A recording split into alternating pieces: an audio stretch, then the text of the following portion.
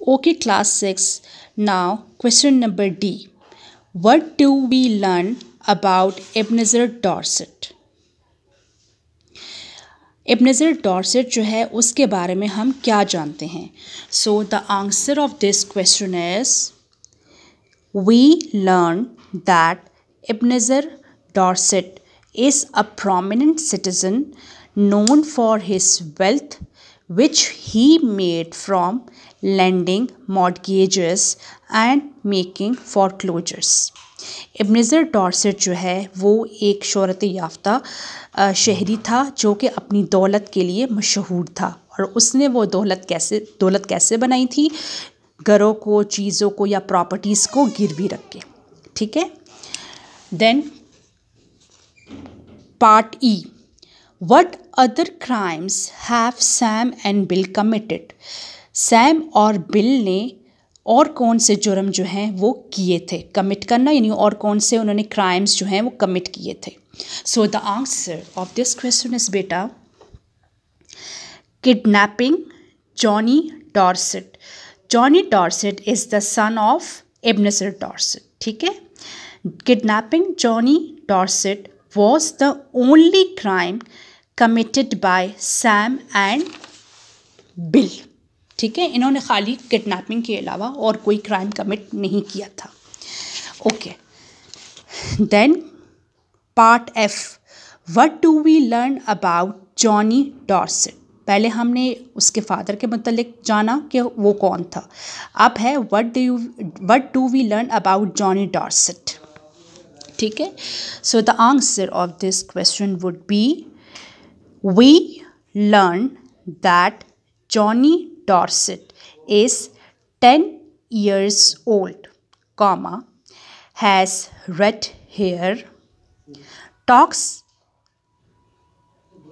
talks a lot. This is a lot, A L O T, comma, is violent. ठीक है? Violent means यानी जो ज़रा बहुत एक्टिव होता है, बहुत तशद वाला होता है, उसको कहते हैं, ठीक है? जो बहुत गुस्सनाक वाला होता है, उसको कहते हैं। He kicks he kicks and bites ठीक है? Has a great imagination is not popular with his neighbors and he likes camping. Johnny Dorset जो है, वो दस साल का बच्चा था, जिसके रेड हेयर थे, ठीक है। वो बहुत ज़्यादा बोलता था और बहुत वायलेंट था, यानी बहुत ज़्यादा तशद वाला, बहुत ज़्यादा शोर वाला, गुस्से वाला था, ठीक है। कभी कभार जो है, वो लाते भी मारता था और काटता भी था, ठीक है। हैज़ अ ग्रेट इमेजिनेशन उसकी यादाश्त बहुत अच्छी थी। वो अपने हमसायों में पॉपुलर नहीं था और उसको कैंपिंग करना पसंद था, ठीक है। Then part G what games did Johnny play Johnny कौन से गेम्स खेलता था? The answer of this question is he played a game in which he was a red Indian Johnny Dorset ने जो गेम खेली, उसने, उसमें वो एक रेड इंडियन बना हुआ था। ठीक है? Then part H Why did Bill try to release Johnny before they had the ransom? Bill Johnny को क्यों आज़ाद करना या छोड़ना चाहता था? उससे पहले कि वो तावान वाली जो रकम है, तावान जो है, वो ले सके। क्यों ऐसा था? So the answer of this question is Bill tried to release Johnny try to release Johnny before they had the ransom because he is being driven mad by the boy वो इसलिए तावान हासिल किए बगैर इस बच्चे को जॉनी को छोड़ना चाहते थे क्योंकि इस लड़के ने उनको पागल कर दिया था। इस बीइंग ड्रिवन मैट का मतलब है बेटा पागल कर देना। यानी उन उन लोगों को उस ब, उन लोगों को इस बच्चे ने पागल कर दिया था। ठीक है? Okay then I part I how did Sam and Bill get Johnny to go home Sam और बिल ने जॉनी को कैसे घर छोड़ने का यानी घर छोड़ने पर आमादा किया या कैसे वो गया? ठीक है? So the answer of this question is Sam and Bill got John Johnny beta make sure that you have to write you uh, you write correct spelling of johnny that is j j h uh, j o n sorry. J o h double n y. The correct spelling of johnny is j o h double n y. Sam and bill got johnny to go home by telling him that they were going to play with a new toy his father had bought him उन्होंने जो है Sam और Bill ने Johnny को इस तरह मादा किया कि वो घर जाए कि उसको ये बताया उसको ये लालच दी कि तुम्हारे अब्बू ने उसके लिए तुम्हारे अब्बू ने तुम्हारे लिए एक नया खिलौना जो है वो ख़रीदा है। ठीक है? Okay.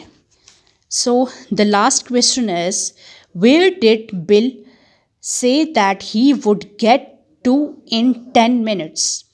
Is that possible What does he mean? इस स्टोरी में बिल कहता है कि वो जो है दस मिनट में बस आता है। तो उसने ऐसा क्यों कहा? क्या ये पॉसिबल है? और इसके ऐसे कहने से क्या मुराद है? ठीक है?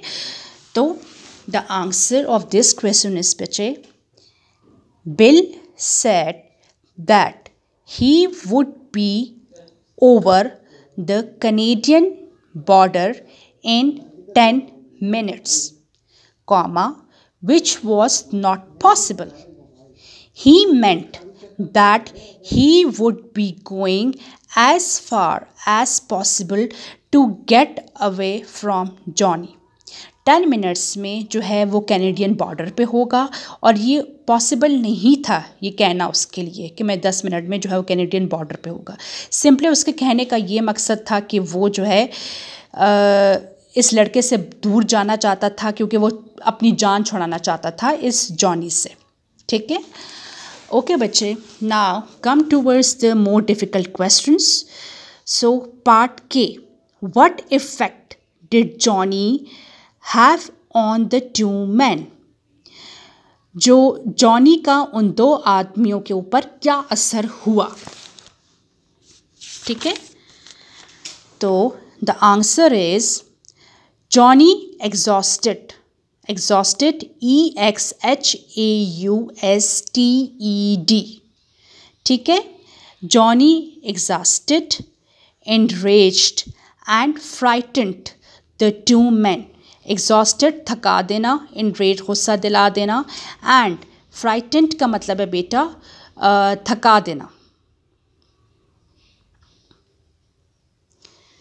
सॉरी uh, फ्राइटेंट का मतलब है डरा देना the correct spelling of frightened is बेटा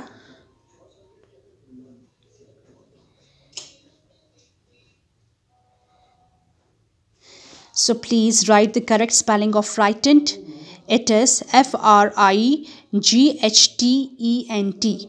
Johnny, exhausted, enraged, and frightened the two men. I have written the correct spelling of frightened.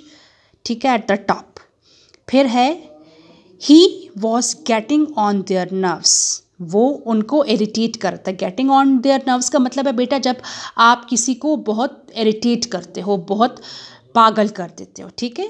So Bill and Sam decided to take dots offer and get rid of this child so उन्होंने बच्चे decide किया कि वो वो रकम पर राज़ी हो जाए, जो उसके फादर ने जो है अनाउंस की हुई है, और इससे हम अपनी जान छुड़ा लें।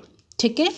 देन बेटा the last question which characters do you feel sympathy for and why इस स्टोरी में किस कैरेक्टर के लिए आप अपनी हमदर्दी शो करते हैं और क्यों? ठीक है? The answer of this last question is beta.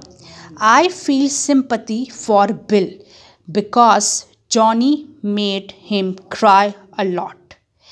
Bill was badly beaten by the boy and was treated like a horse and a snake eye.